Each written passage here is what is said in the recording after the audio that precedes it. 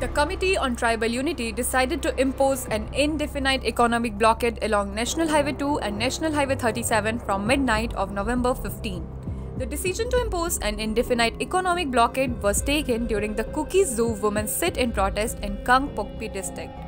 The 48-hour total shutdown in Kangpokpi district demanding the unconditional release of two Kuki-Zo women by Manipur police in connection with the missing of two Meiteis boys culminated on November 13 morning without any response from the authority concerned. The Kuki-Zo women sit in protest at Gamgiphai today strongly demands the unconditional release of two Kuki-Zo individuals by the concerned authorities.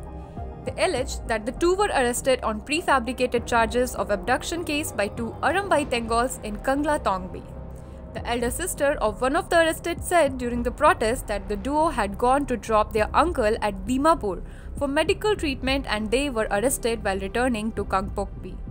She said that the state government was quick to take action against the Kuki-Zo communities, but action over the murder of four Kuki-Zo family members by the Meiteis communities in broad daylights is yet to be taken. She asserted, therefore, this selective treatment by the state to solve the problem will bear no fruit. The state must take action based on admissible evidence but not by mere assumptions. She further stated that the Committee on Tribal Unity stands resolute in its endeavor for justice and any form of systematic subjugation will be dealt firmly by Kuki-Zo people.